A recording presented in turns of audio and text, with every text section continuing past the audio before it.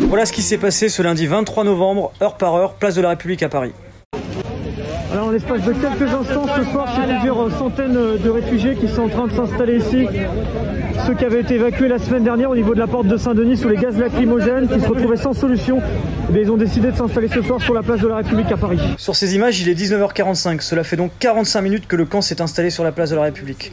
Policiers et gendarmes préparent leur intervention et ils sont assistés également de plusieurs unités euh, de la BAC venant de plusieurs départements d'Île-de-France. Donc là, les gendarmes sont tout doucement en train euh, d'encercler euh, le camp qui est en train de s'installer sur la place de la République.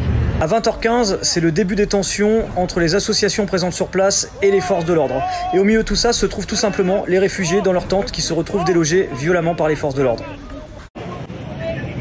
Donc là, il y a les policiers qui sont en train de d'enlever des tentes progressivement ici.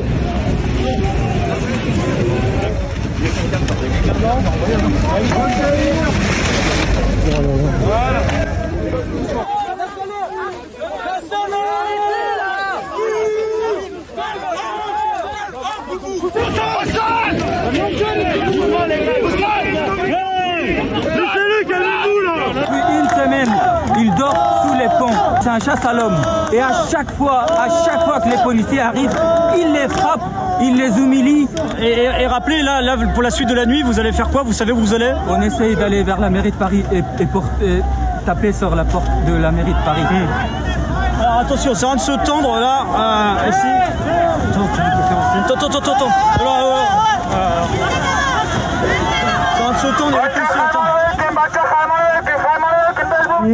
C'est violent tous les soirs pour toutes ces populations qui sont invisibilisées. Aujourd'hui, on a voulu vous montrer ce qu'ils vivent tous les soirs, cachés sous les ponts, traqués par notre police, traités comme des animaux, traités de terroristes. C'est une honte. Je ne reconnais plus mon pays. Entre 22h30 et 23h, les forces de l'ordre saisissent les tentes et couvertures des réfugiés qui s'étaient installés un peu plus tôt sur la place de la République. Quelques minutes plus tard, les réfugiés sont obligés de quitter la place de la République et vont devoir trouver un autre endroit où passer la nuit. Ils se retrouvent ensuite dispersés par les forces de l'ordre à coups de matraque et de lacrymogène. Et à ce moment-là, moi je me fais molester. Non, non, non, non, non, non Eh, la presse La presse La presse Il est la presse La presse La presse Para, para, il est la presse Para, para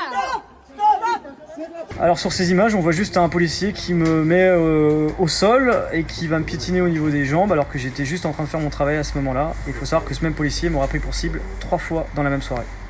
Pour les réfugiés, c'est une nouvelle nuit en pleine difficulté dans les rues de Paris. Chassés de la place de la République, ils vont essayer de trouver un autre endroit pour passer la nuit. À 23h57, Gérald Darmanin, le ministre de l'Intérieur, réagit sur Twitter.